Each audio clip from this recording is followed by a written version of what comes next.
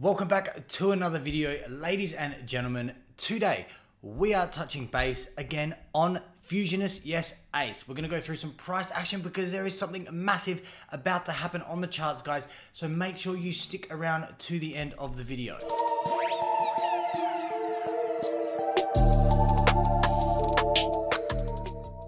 Thank you for joining me once again, guys. Guess what? We have hit 3,000 subscribers on my channel. So, an absolute massive thank you to everyone watching this video and who is subscribed to my channel.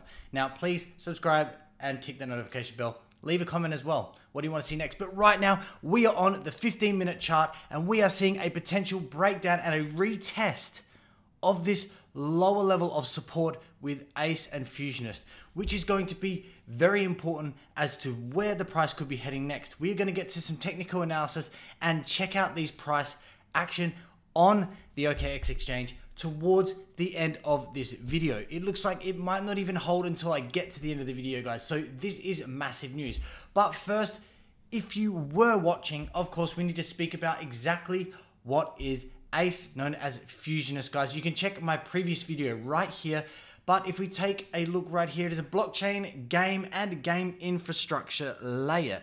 And we can see that they have had betas, various betas with their current or previous game and current game as it develops further. It looks quite good here. I did mention in my last video that we have nice pictures right here of it. You can see it once again. This is cool. There is a product there, but what is even bigger is endurance, which we're going to touch on again today. Now, there are a few things that I want to note. You can see in their socials that a lot of things are happening with Fusionist or Ace. The price went absolutely insane, and in my opinion, this is quite a successful launch, of course. Now, this is not financial advice. Always do your financial research consult a financial advisor if that's what you want to do.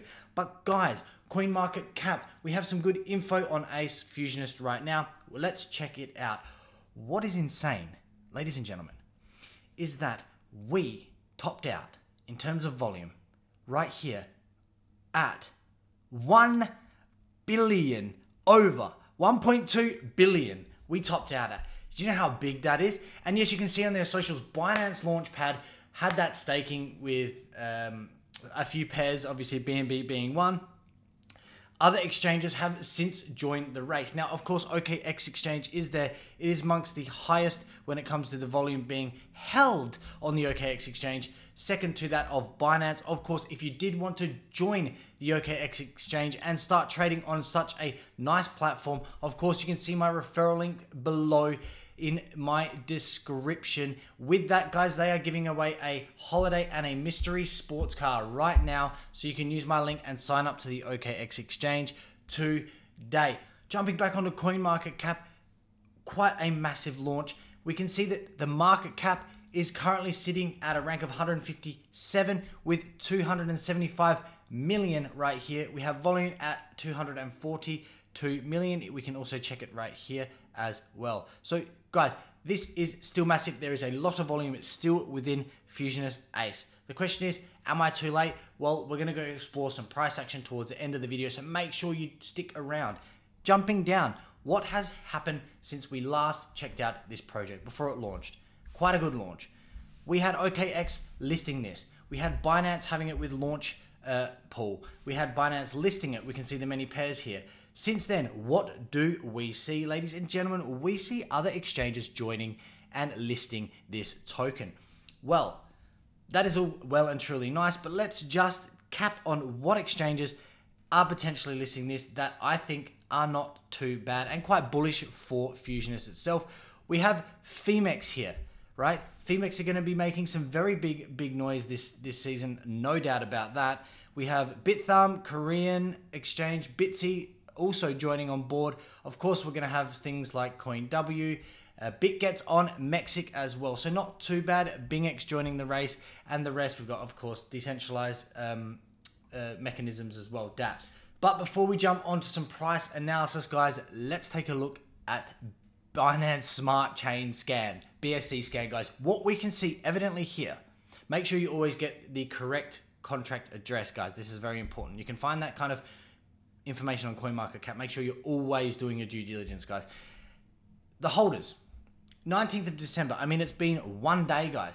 Holders have gone from 1,147 to a 68% increase to a total of now 3,601 holders of Fusionist, the ACE token. This is very bullish, and I thought I would bring that to you. Of course, that is the token, but what is Endurance, guys? Well, we can take a look at that right now. Endurance, Fusionist, Fusionist's mainnet, social and game orientated infrastructure layer. So you must always understand that there is a difference between the native token being um, ACE or Fusionist to Endurance, its uh, mainnet, which is really going to be establishing the next big move in GameFi, in my personal opinion. Now, of course, markets are looking quite good. Uh, Crypto Bubbles here has a nice presence and uh, Santa hats on some certain things. Bonk pulling down. This is fine. Near Protocol up at massive 15%. Bitcoin seems to be retesting some crucial levels, maybe some consolidation on the way, in my opinion. But we're going to jump on right now to some price analysis with ACE. Guys, right now, what are we seeing on the chart? I am charting on the 15 minute time frame. The reason for this, guys, is it only listed yesterday. It went live, and we can see even on the hourly right now, we are still in this wedge. What does this mean? Jumping back onto the 15 minute, the reason I have this emoji here is just like, wow, what's happening? In layman terms, guys, the price is squeezing. What's happening is you have this trend line here. This is a bearish trend line. Each time the price has come up to this on launch, it is being rejected down it is keeping the price below this trend line. And if I continue to extend it, if the price was to fall down, it could potentially continue to reject that. Now, how do you uh, flip this and come above this line? Well, that takes a lot of volume. Now, what do we see below? We see this level of support, which is forming this wedge, making this wedge pattern here. And we see the price touching and bouncing multiple times from this level. So let's analyze this. And we are going to jump into some technical uh, indicators as well. If we look at around about launch price, I mean, if we did hit here on the OKX exchange an all-time high of $16.18, which was up 38.37. Now, launches, guys, if you are getting in on launches and trading launches, it can be very, very risky, of course. So sometimes people will wait for the price to settle down before they rebuy in, and there are certain indicators that can potentially spot these pivotal points. Are we going to see a bust to the upside or are we going to break to the downside with this pattern? We are going to take a look at some of the indicators right now. With the Ichimoku Cloud, guys, what this is doing is it's computing future levels of either support or resistance. Note, you will see this uh, leading span A flipping and creating a red cloud on leading span B. Basically, this red cloud is potentially telling us that this area here in the future, should the price come back up to retest this bearish trendline, as I mentioned, is going to act as potential resistance and could drive the price back down if we are to bounce from this level right here. And this is a trade that potentially I could be looking at if I can finish this video quick enough. We could be up around about 4% to the next bearish trend line here competing with that Ichimoku cloud, telling us, well, if we do have enough volume at this point, right here, and we are to come back up and retest this bearish line, that's around about 4%. The question is, minus Ichimoku cloud, what are some of the other indicators telling us? We have touched this level right here so many times as support. Will it be able to hold now? If so, we may see that retest. If not, we could be seeing a drop to the downside. That would be very, very scary. What other indicators are suggesting a potential move. If we bring out our RSI, we can see it is still quite neutral here at around about 35. Plenty of room to move to the upside. No overbought, no oversold conditions. So that's really not relevant for analyzing this price so much. We do, however, have the moving average convergence divergence, as you'll see right here, crossing bearish right now. This could insinuate that we see a price pullback to the downside, if we break outside of this level, bottom of this wedge, or this level of support here drawn with this white line, this could be very, very, very scary.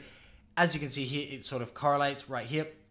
As we touch this level of support, we shot up to this bearish trend line here. We had this bullish cross, yeah, this bullish cross here, and then we had this bearish cross here, coinciding with the price, as you can see like this. So this is some of the things, or one of the things that is potentially telling us, well, guys, we could see a break to the downside. Ideally, if we are, I would be looking at around $11.70. There might be a quick wick off for that, but it is going to be very interesting as to whether or not we see this break to the downside. Guys, that is it for today's video. It is a quick recap of uh, what we can expect from Ace and Fusionist, its launch, the exchanges that are jumping on, the massive amount of trading volume that it hit upon launch, which is insane, guys. Okay, so leave a comment below. What do you think about Ace Fusionist? Are you holding? Did you get in on this? Did you trade this? Let me know below. I'll see you in the next video.